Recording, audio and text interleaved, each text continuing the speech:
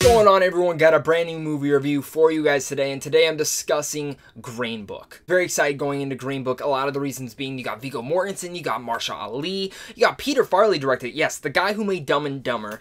And it's been getting a lot of award buzz through all the festivals. It's been winning Best Picture at a lot of them as well. So I had my hype set really high up for this film.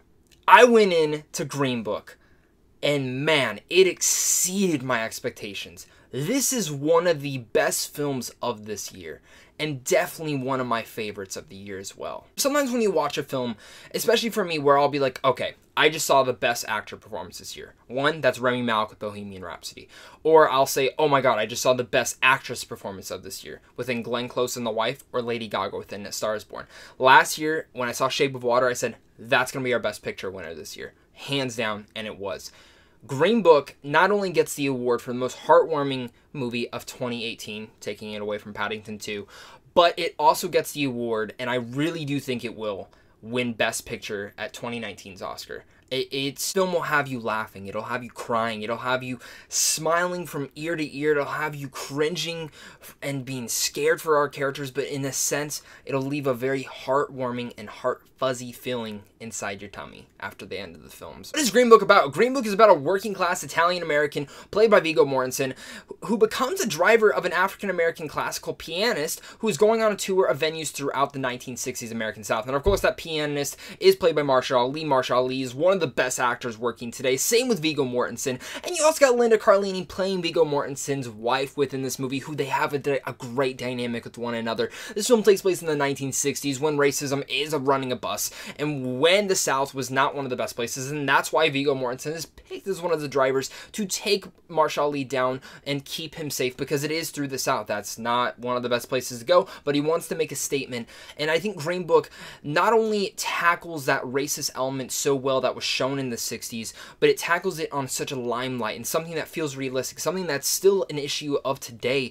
And I love the way that Peter Farrelly directed this film and the way that he told the story because, again, the guy is known for Dumb and Dumber movies. He's known for those of movies which are never getting Oscar buzz, but it's the way that this film was written and directed.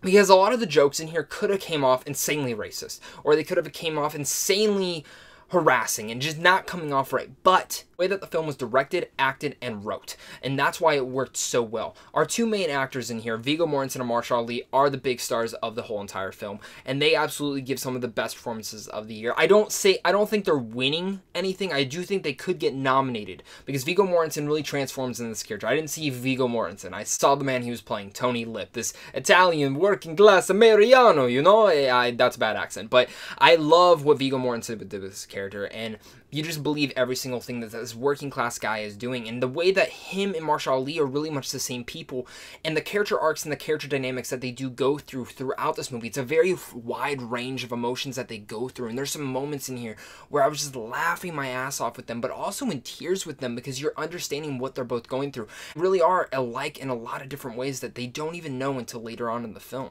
Even though was saying that this film could come off in a very cliche way, but it doesn't. And Mahershala Ali is one of the big reasons that it doesn't. He plays this upper class African American in the 1960s, which again is not one of the best things in the 1960s. African Americans, there's still a lot of racism going on, like I was saying, but it's how he plays it off with Viggo Mortensen and charismatic values that they hold within one another are just outstanding moment in here in the rain where they're just both arguing with each other and screaming at each other and you just after that moment you can tell that there was a difference between them where they're totally understanding each other and I, I just love what they did at that. And there's one other funny moment. There's so many moments in here where I was just laughing and having such a blast with this film but also crying. And trying not to cry and be in tears. And one of the best moments in here that really is on a happier note is when Viggo Mortensen and them drive through Kentucky. I'm not going to say what but Viggo Mortensen is really obsessed with food and there's a certain brand of food that everyone really likes that's from Kentucky, and it's a fast food restaurant. You can kind of go from there, but that scene was great. Him and Mahershala Ali and everything they go through.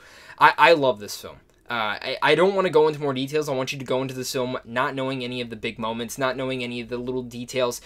For for cons, I do have one small nitpick, and it is the fact that there is a subplot that they introduced earlier in the film with kind of these mobsters, I guess, and there it never really goes anywhere. They introduced it a couple more times, and it just felt like a really big afterthought. And there are a couple scenes where it goes and you think it's going to go somewhere and then it like cuts to the next thing. And it, it, doesn't feel abrupt at all. It feels very seamless but i don't know if it was how it was written or if there really were moments missing from theirs because it is a two hour and 10 minute movie so it is a little bit long but it does it doesn't even feel like that. It just flows by.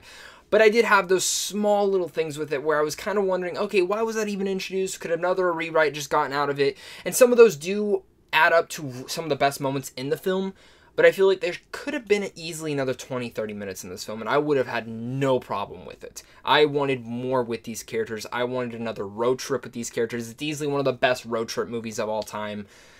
I loved Green Book. It's a film that I definitely recommend to you. If you get your family, get your friends, go see this film. Just sit in the theater, laugh, cry, and get, leave the theater with a very heartwarming sense to you. So with all that said, I'm gonna give Green Book an A. This was easily one of my favorite films of this year so far. Tell me, guys, what are your guys' thoughts on Green Book? Are you guys going to be seeing it this month? Are you not? Let's talk about it down below in the comments. I'm so curious to hear your guys' thoughts on this. What are your guys' thoughts on Viggo Mortensen and Mahershala Ali? Let's talk about it. Have a lively discussion down below. If you guys are new here, hit that like and subscribe button. Then go hit up Sandwich on Films also down below because right down there you guys can get into advanced movie screens, even check out some movie news, and even some movie reviews. But guys, of course, until next time, stay classy.